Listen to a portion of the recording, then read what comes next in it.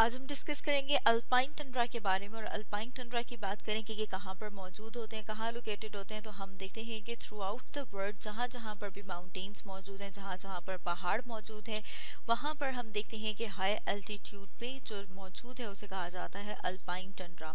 लेकिन इसके साथ साथ हम देखते हैं कि जो अल्पाइन टंड्रा है, वहाँ पर ट्रीज मौजूद नहीं होते, वहाँ पर दरख्त मौजूद नहीं होते और ये कहाँ पर मौजूद है हाई एल्टीट्यूड के ऊपर। तो अगर एल्टीट्यूड की बात करें तो जैसे कि यहाँ पर हम डायग्राम में देख रहे हैं कि इस डायरेक्शन में जब ऊपर की तरफ़ मूव करते हैं इक्वेटर से तो वो क्या है, हम देख रहे हैं कि एल्टीट्यूड तो जैसे जैसे हाई एल्टीट्यूड की तरफ़ आते जाएँगे तो हम देख रहे हैं कि जो माउंटेन है पहाड़ के ऊपर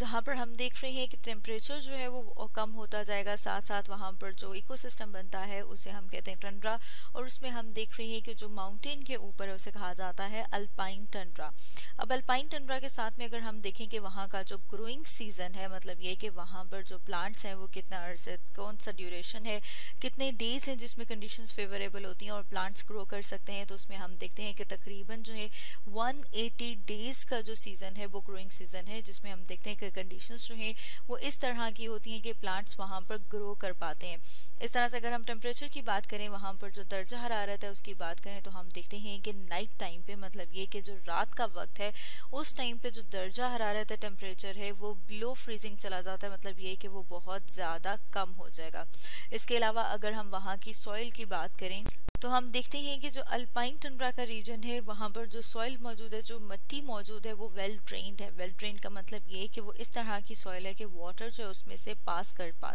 कर सकता है। इसके साथ साथ अगर हम वहाँ पर मौजूद प्लांट्स की बात करें वेजिटेशन की बात करें तो हमने जैसे कि अपनी लास्ट वीडियो में डिस्कस किया था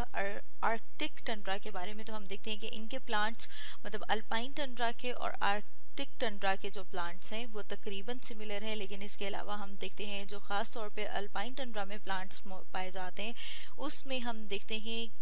ट्यूसोक्रासिस जैसे कि यहाँ पर हम इस डायग्राम में देख रहे हैं, इसके अलावा वहाँ पर हमने बात की थी कि ट्री नहीं पाए जाते, बल्कि क्या है डॉर्फ ट्री है। मतलब जिस तरह से नॉर्मल ट्रीज हम लैंड पे देखते हैं, उस तरह के ट्रीज हमें टंड्रा इकोसिस्टम में नहीं नज़र आते। तो जैसे कि यहाँ पर हम देख रहे हैं वेजिटेशन जो कि डॉर्फ ट्रीज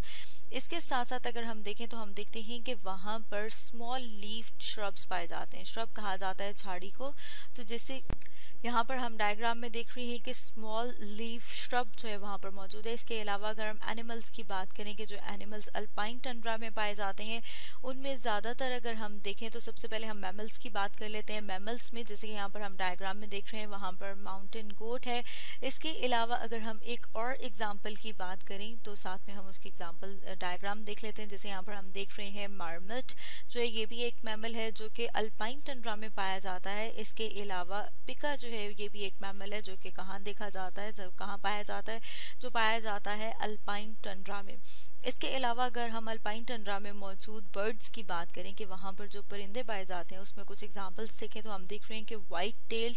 टर्मिगन इस तरह, इसके अलावा अगर एक और एग्जांपल देखें तो जैसे यहाँ पर हम देख रहे हैं, किया पैरट अब अगर हम साथ में डिस्कस करें वहाँ पर पाए जाने वाले जो इंसेक्ट्स हैं, उनके बारे में तो हम देखते हैं कि वल्पाइन टंड्रा में जो इंसेक्ट्स पाए जाते हैं, उसमें हैं बटरफ्लाई जैसे कि यहाँ पर हम बटरफ्लाई की डायग्राम देख रहे हैं। इसके साथ साथ देखा गया है कि वहाँ पर बीटल्स पाए जाते हैं, और अगर बीटल्स की डायग्राम देखें तो जैसे कि यहाँ पर हम देख रहे हैं बीटल अब अगर हम एक और एग्ज़ाम्पल की बात करें तो जिसके यहाँ पर हम अपने सामने डायग्राम देख रहे हैं स्प्रिंग टेल के डायग्राम है, ये भी क्या है? ये इंसेक्ट है अल्पाइन टंड्रा का। और स्टूडेंट्स आज हमने डिस्कस किया अल्पाइन टंड्रा के बारे में।